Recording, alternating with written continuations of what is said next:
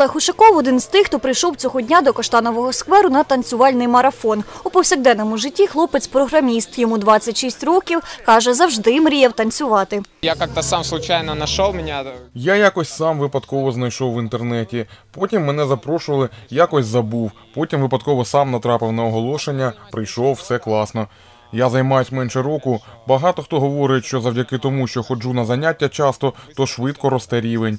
Тож, якщо ви хочете чимось займатись, треба вкладати в то зусилля. Тоді і буде результат. В перший день марафону танцювали півсотні людей, обмінювались партнерами, адже це головний критерій соціальних танців, розповідає Анастасія Ступіна, тренерка з бачати. Это доминиканский танец, очень много людей.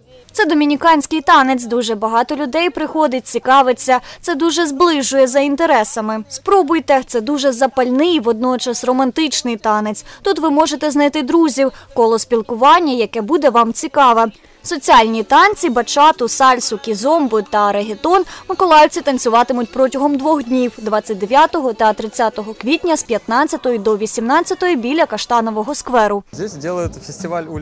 Тут працює фестиваль вуличної їжі, і нас запросили потанцювати. Ми прийшли зі своїми учнями, студентами.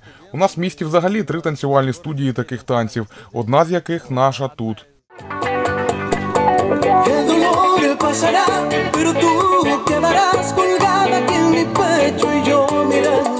Techo pensándote, hablándote cosas de los dos.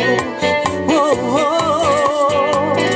El amor volará y tal vez volverá a darme su misterio. Задумка такая, то что э, Задумка така: люди приходять спочатку на тренування, вони навчаються. Основний сенс це дозвілля, це відпочинок, просто потанцювати і розважитись.